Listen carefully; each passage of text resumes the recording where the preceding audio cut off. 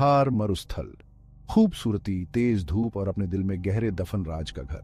सदियों से हवा रेत के टीलों को आकार देती रही है। एक ऐसे समय की कहानियाँ सुनाती रही है जब धरती पर विशालकाय जीव घूमते थे।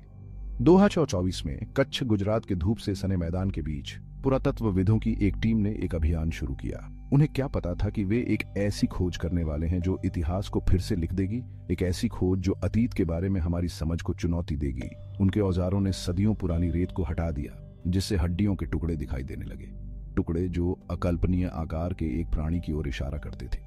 यह खबर जंगल की आग की तरह फैल गई। लाखों सालों से दबा हुआ एक विशाल सांप जागने वाला था।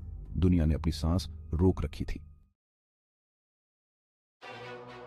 ज़मीन से विशालकाय रीढ़ की हड्डी निकली, जो पुरातत्वविदों ने अब तक देखी किसी भी चीज़ से बहुत बड़ी थी।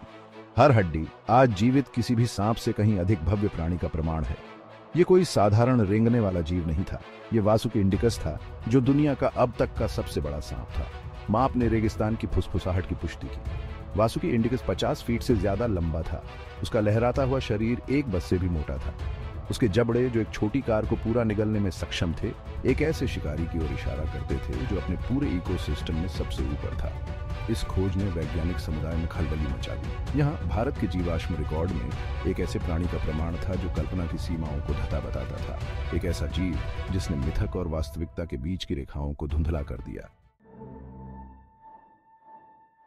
वासुकी इंडिकस के विशाल आकार ने इसे पेलेंटोलॉजिकल खोज में सबसे आगे ला खड़ा किया।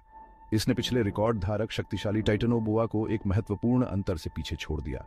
यह सिर्फ़ एक नई प्रजाति नहीं थी। यह रेप्टिलियन विशालता के लिए एक नया मानदंड था।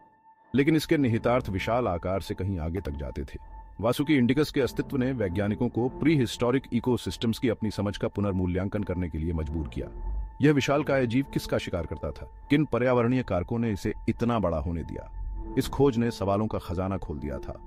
हर जवाब लाखों साल पहले पृथ्वी पर जीवन की हमारी समझ को गहरा करने का वादा करता था।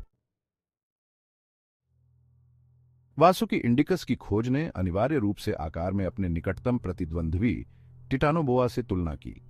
दोनों अपने समय के शीर्ष शिकारी थे जो लाखों वर्षों और महाद्वीपों से अलग थे, फिर भी अपने विस्मयकारी पैमाने से एकजुट थे। पेलियोसीन दक्षिण अमेरिका के दलदलों से आने वाला टिटानोबोआ दशकों तक सबसे बड़े सांप के सिंहासन पर विराजमान रहा। लेकिन वासुकी इंडिकस ने अपने और भी विशाल अनुपात के साथ इस खिताब को हथिया लिया। दोनों टाइटन हालाँकि समय से अलग हो गए थे, अब जनता की कल्पना में सर्वोच्चता के लिए एक मूक लड़ाई में शामिल हो गए थे। गुजरात में खोज से बहुत पहले से ही वासुकी नाम भारतीय संस्कृति में गूंज रहा था।